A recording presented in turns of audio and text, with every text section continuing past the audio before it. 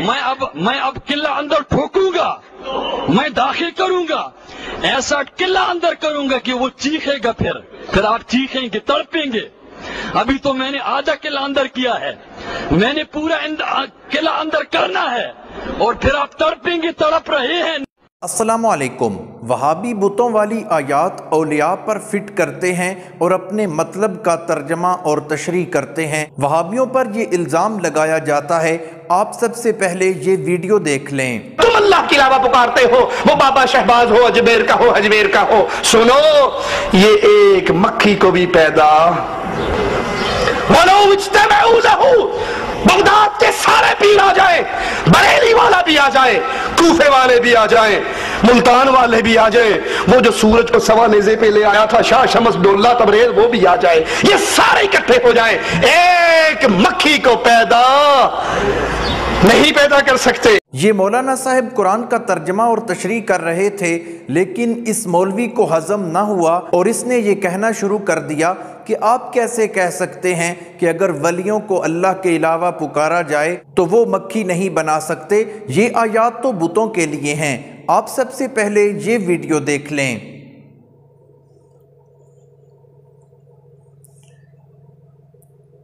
तो दोस्तों, वीडियो आपने देखी है। तो दोस्तों, वीडियो आपने देखी है। वीडियो में कहा जा रहा है कि ये आयात तो बुतों के लिए हैं। अगर तहवील ख़ास में लिया जाए तो ये आयात बुतों के लिए हैं।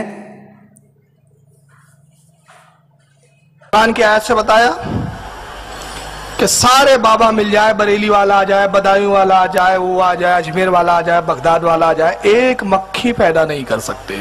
कुरान ने कहा ये कुरान में कहा है कि गौ से आदम नहीं पैदा कर सकते गरीब नवाजी बाबा पे उसने फिट कर दिया। कुरान पाक की सत्रहवें पारे, पारा सूरह हज, आयत तिरहत्तर है ये। कि तमाम औलिया जमा हो जाए तो एक मक्खी भी पैदा नहीं कर सकते। अभी मैं दलील बाद में दूँगा, पहले एक जबानी चीज़ सुन ले। ये आयत बुतों के बारे में नाजिल हुई है, औलिया के बारे में नहीं। और एक चीज़ बताओ इस धर्म क्या इतना कमज़ोर धर्म है? ये नया नया अभी नौजायदा बच्चा है ये धर्म अभी। अभी अभी पैदा हुआ है, जैसे मैंने बताया। अभी बालिक भी नहीं हो पाया ये पूरी तरह। तो ये जो पालने में भी पनप रहा है ना ये धर्म गैर मुकलिदियत या अहले हदीस जिस जो बोलते अपने आप को, इनके पास मैं इनको चैलेंज करता हूँ। अगर तुम अंबिया और औलिया को मजबूर बताते तो एक सरी आयत मुझे ऐसी ला के दो जिसमें कुरान में साफ़ साफ़ मौजूद हो कि औलिया और अंबिया मजबूर है कुछ नहीं कर सकते। ऐसे कुरान में एक आयत नहीं। तो कौन सी आयत लाते? बुतों पर जो नाजिल हुआ औलिया पर फिट करते हैं। वह अंबिया पर फिट करते हैं। क्यों? इनका धर्म बचाने के लिए इनको बुतों का सहारा लेना पड़ रहा है। बुतों की आयतों का सहारा लेना पड़ रहा तुम कुरान में गौर फ़िक्र नहीं करते।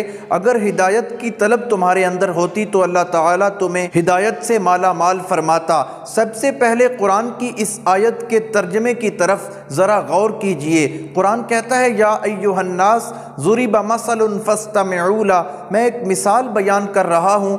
आप ज़रा कान लगा कर सुनिएगा। इन लजीन तदून मिन दून अल्लाह ताला फरमाते हैं, जो अल्लाह को छोड़कर किसी को भी पुकारे, इसमें बुत को खास नहीं किया गया। बुतों को पुकारे, नबियों या वलियों को पुकारे, गौस कुतब अब्दाल को पुकारे जिसको भी पुकारे, वो इसी जुमरे में आएगा। और ये कहता है कि ये आयात बुतों के लिए हैं। तहवील आम में ये सब के लिए है, जिसको भी अल्लाह के अलावा पुकारा जाए। दुआ में जिसको भी पुकारा जाए, वो इसी तहवील आम में आएगा। दुआ में जिसको भी पुकारा जाए, वो मिंदून में आएगा। खा वो नबी हो, वली हो, गौस हो, कुतब, अब्दाल हो, कोई भी हो, वो सिर्फ़ बुतों पर फिट नहीं होगी। ये सिर्फ़ और सिर्फ़ तुम्हारा धोखा है। लई यखलुकू जुबाबन, वो तो एक मक्खी का पर भी नहीं बना सकते, और मक्खी तख्लीक करना तो दरकिनार। यसलुब हमजुबाब शई अल्लाह यस्तनक़ू मिन हो अगर मेरी मक्खी तुम्हारी खाने वाली चीज़ में से कुछ ले जाए तो तुम तो वो भी नहीं छुड़ा सकते। क्योंकि ज़रूफ़ तालिब वल मतलूब जिसको पुकारा जा रहा है, वो भी कमज़ोर कमज़ोर है और जो पुकार रहा है, वो भी कमज़ोर है। और दूसरा यह है कि इसने चैलेंज किया कि कहीं पे कुरान में मुझे दिखा दें कि किसी नबी के बारे में आया हो कि वो अल्लाह के मोहताज हैं। तो हज़रत मूसा वसलाम के बारे में आया है, रब्बी इन्नी लिमा अनजल तमिन खैर फ़कीर के अल्लाह मुझसे बड़ा कोई फ़कीर नहीं है।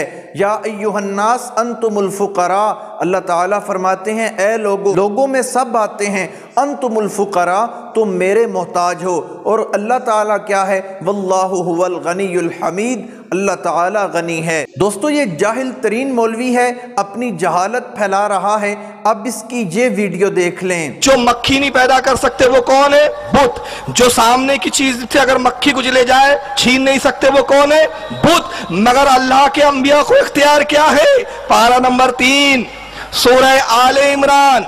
आयत 150 अल्लाह हज़रत ईसा का जुमला बयान करता है। ईसा कहते हैं, ईसा का कौल बयान किया जा रहा है। अन्नी का है फ़ी तायरन हज़रत ईसा कहते हवारियों से, ऐ मेरे हवारियों, मैं तुम्हारे लिए परिंदा एक मट्टी का बनाता हूँ।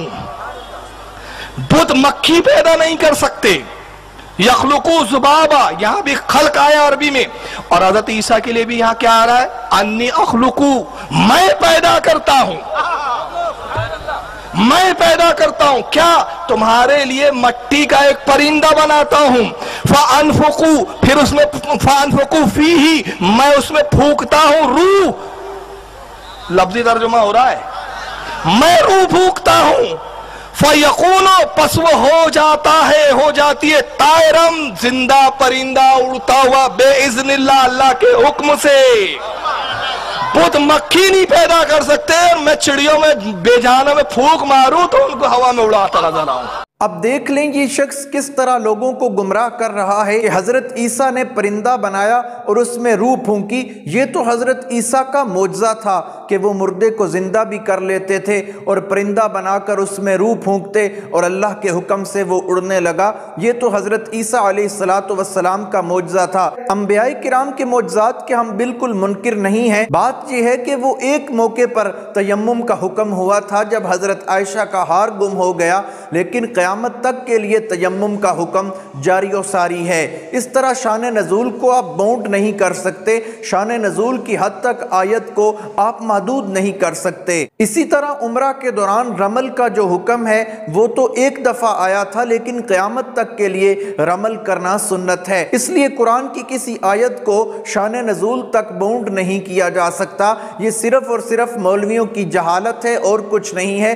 अल्लाह के सिवा किसी को भी इबादत के लिए पुकारा जाए, मदद के लिए पुकारा जाए तो वो बिल्कुल शिरक होगा। और फिर ड्रामा रचाया जाता है कि तुम पानी भी मांगते हो, वो भी शिरक हुआ।